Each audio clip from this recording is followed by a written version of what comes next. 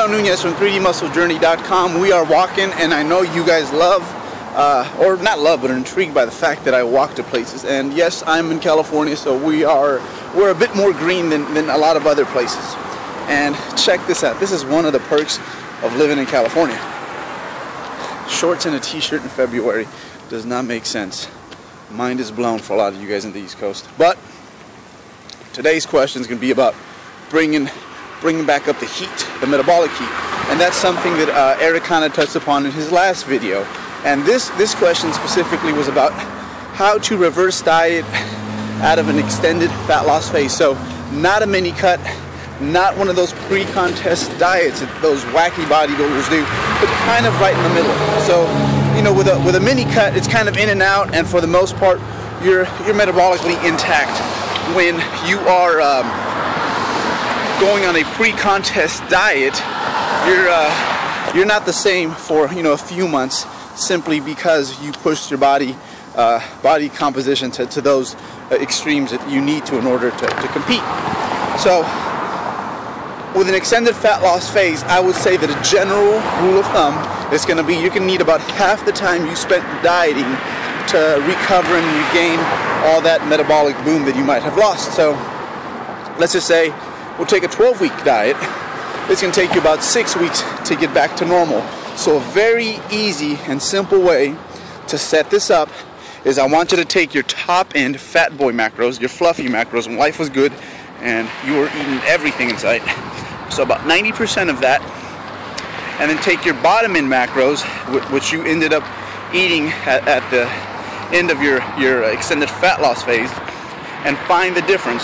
So we'll say at the end you were at 2300 and in the beginning of your um, in the beginning of your uh, diet or pri prior to your diet you're at 2900 so there was a there was a 600 calorie difference. We'll make it real easy that way. And you're planning to you know reverse for the next reverse diet as they like to call it for the next six weeks. So you're going to be adding 100 calories for the next six weeks to get back to 90% of your old intake.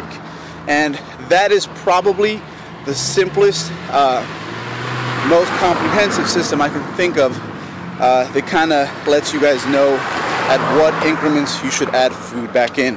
And of course, you only add food back in if you feel that uh, the data and or the feedback you're getting back from the scale uh, warrants that you do. And again, that's one thing Eric Helms talked about was the fact that you know you want to gain at a rate that's appropriate for you and a lot of that's going to depend on where you're at with your bodybuilding in terms of, of development. Um, you know, some people are going to take less. Some people in four weeks, you know, they might be ready to, to, to go and they might need multiple bumps in a week. And, you know, other folks, you guys might need eight weeks. And that's going to, you know, that, that's again is going to differ from person to person. But we'll say about half the halfway point, about six weeks is about right for most. Uh, one thing I will say is that you will almost right away gain some weight but you know, a lot of that is just is just glycogen that just wasn't there before. So, you know, uh, be okay with that. And uh, once that kind of gets settled, then it's a lot easier to uh, to see through the murkiness and know when to add calories and when not to. Uh, one other thing is, I would say that almost right away, I would get my cardio back to uh, actually right away. I would get my cardio back to whatever I was doing in the off season. So, you know, if I had one um, one GPP day and then one slow cardio day uh, in the off season, and I ended up with six uh, during my my extended fat loss phase. I shouldn't call it an off season. I'll call it a gaining phase because this is for mostly the non-competitors. Um, yeah, I would get back to two sessions a week. Get right back to two sessions a week, and the only thing I would really focus on is really slowly bringing up those calories to uh, to where they need to be. Okay, guys, that is it and we have one more of these.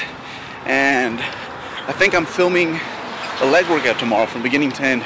And uh, that should be pretty exciting since I'm gonna you know go through uh, my system of training and, and how I do things. So so I think uh, while I do want to give you guys weekly summaries I also want to throw in uh, from time to time just full workouts. So we'll get that for you guys. Again thank you very much everyone.